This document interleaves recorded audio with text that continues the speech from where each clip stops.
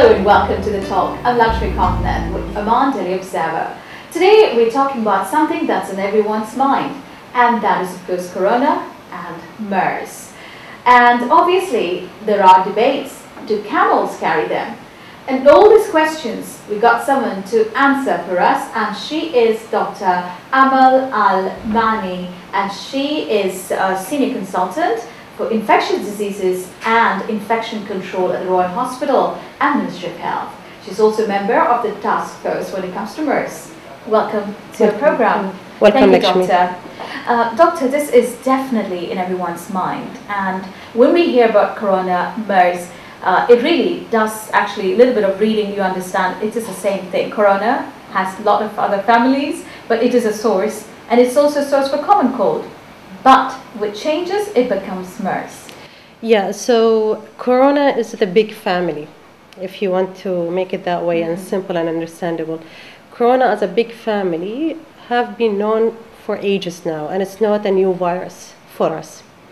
What we keep getting every now and then is a new subtypes mm-hmm. of the corona, new children mm-hmm. for the corona that we did not knew about them before, and they manifest in different ways.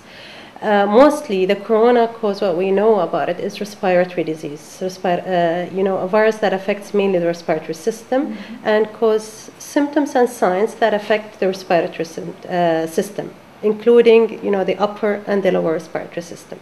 And there is no specific vaccine also to fight and prevent against the severe form of the virus if it at not uh, if it's not also to prevent capturing the infection itself. Doctor, now the camels are being suspected. It's not proven, but Yeah. are being suspected. Yeah, the, the story of camels are, is interesting, and this is one of the most interesting parts when you come to infectious diseases. Mm-hmm.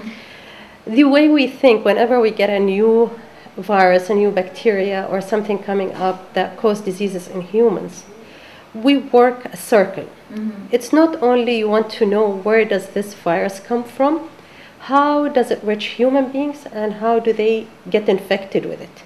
And also within the chain, you want to know why some people would capture it. Mm-hmm. Do they, is it because they have certain activities that makes them more prone to get this virus, or different things? So when the story of MERS started and people started to die, especially coming from you know the community, people who are ordinary living there, we started to question where did this virus origin came from and how did this people capture it. So scientists had different theories, and initially they had the bat theory.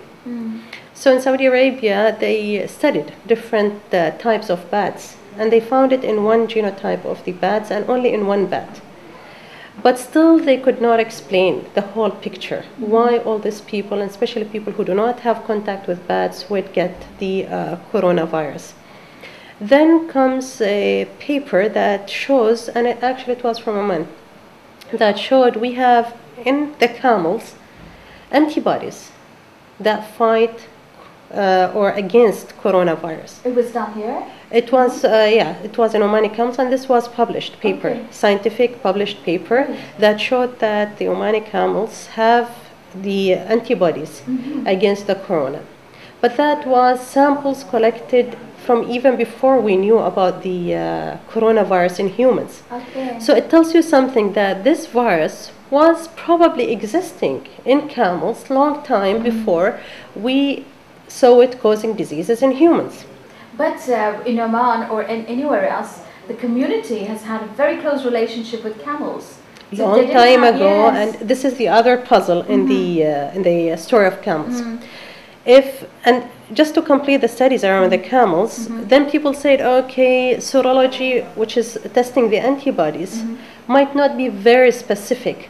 Because you know we have a lot of coronaviruses that might be different than the MERS-CoV, and maybe the serology would not differentiate for you whether the antibodies against this corona versus the other corona. So scientists went into collecting samples to, to isolate the virus itself Okay. in the camels and to see whether this isolated virus in the camels is genetically the same as the one in Ah. humans. Okay.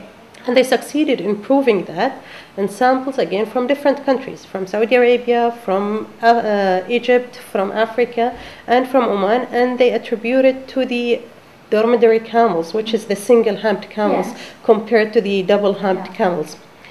So after that, we believed that the corona, uh, the MERS coronavirus did exist in camels, but why it's not causing severe disease? Why do we see mortalities in camels? Why don't we see the camels getting sick with this virus the way the human is? This is one question. The second question if the camels are the source, how do they infect humans? What is the method? Is it direct contact with the camels or it's through an intermediate?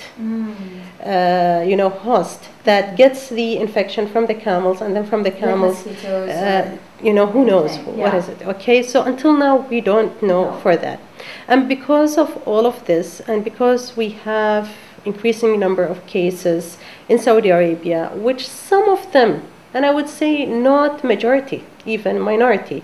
And even in the Omani cases, we had like we had two cases Mm-hmm. in Oman.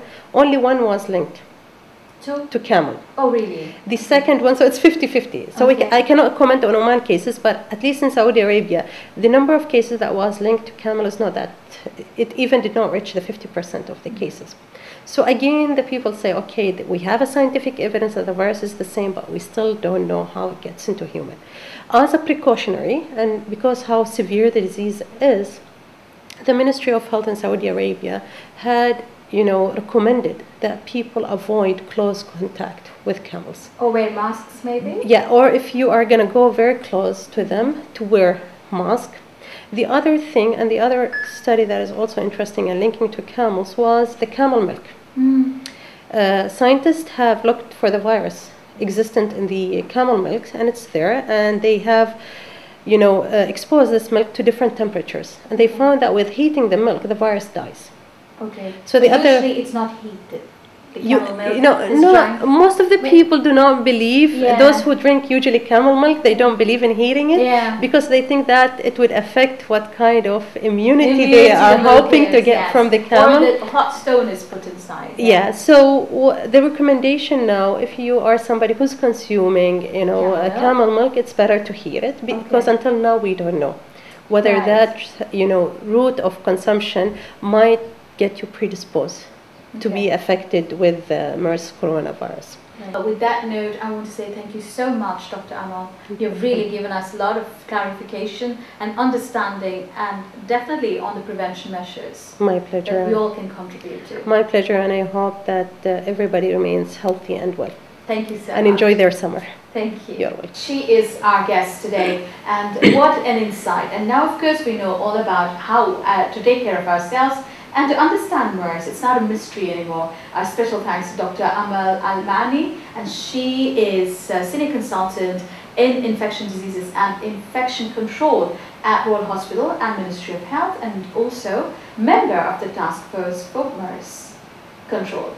I'm Lakshmi Kothaneth, and right here with The Talk, we'll be back next week on Daily Observer. Thank you for joining us.